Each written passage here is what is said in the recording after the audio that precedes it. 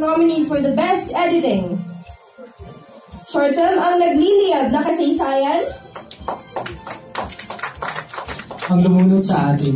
saglit, Ang huling bucket list. at sintas.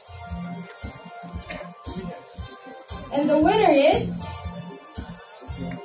Ang lumunod Lumunod sa sa atin. atin.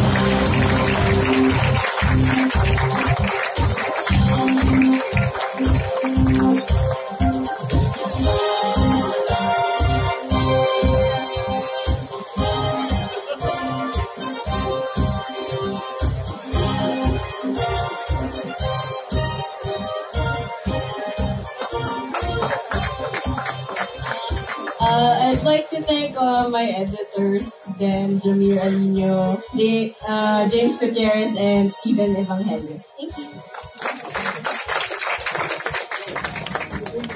The